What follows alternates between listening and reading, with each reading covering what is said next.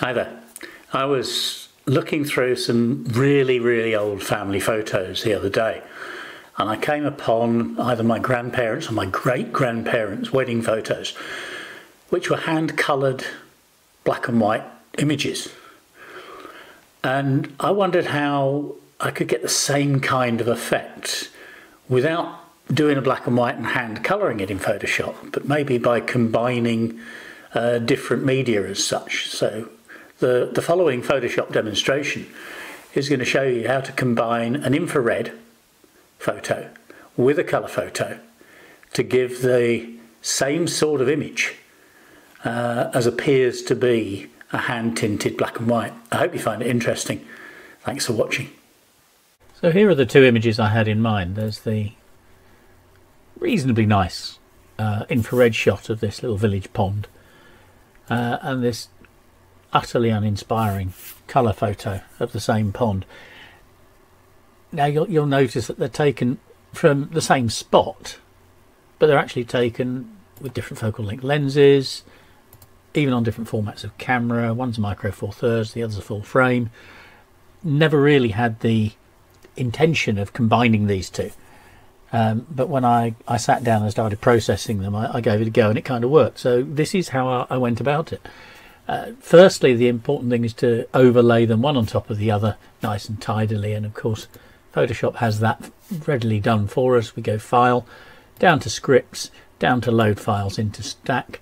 We click on Add Open Files. We've got the two files there already, and we click on Attempt to automatically align source images. Photoshop does this so much better than we ever could because it actually warps the two photos to such an extent that they fit together. Uh, and if I switch that infrared layer off and on, you'll see what a, a remarkably good job it's done of combining those two images. Now to crop them, in this case, I'm going to use the perspective crop tool rather than the regular crop tool. I'm going to start from that corner, come down there to about there. Notice that the colour image only starts about that, that point. Now you'll see there it's snapping from there to there. If you hold the control key down, it takes the snap, it turns the snap away and just when you're doing something like this it's a heck of a lot easier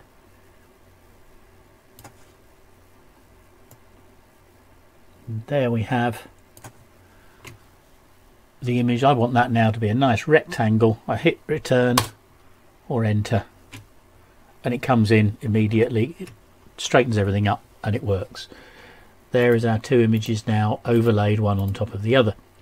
To get the effect of that black and white hand tinted we changed the blending mode of the top layer and I went through most of them until I found something I was kind of happy with. Until I got to luminosity and luminosity would be the bottom one and luminosity just it gave me what I had in mind. It may appeal to you it may not appeal to you. This is this is going to be marmite for a lot of people I totally understand that. And that's almost it. Now there's a couple of items here that I'm not overly happy with. We've got uh, a vague image of a duck there. If you notice you can see it. It's just a, an odd smack of colour. So I'm going to add another layer here. Pick the spot healing brush make sure we're on content aware and sample all layers so we can work on this transparent layer. We'll just take the duck out there further up here. And bear in mind we're currently working at 544% so don't worry about the noise it's going to be hideous. Take out the life preserver and the post next to it and its reflection. And there we have our completed picture. And there's our completed image, uh, hand tinted, black and white, in effect.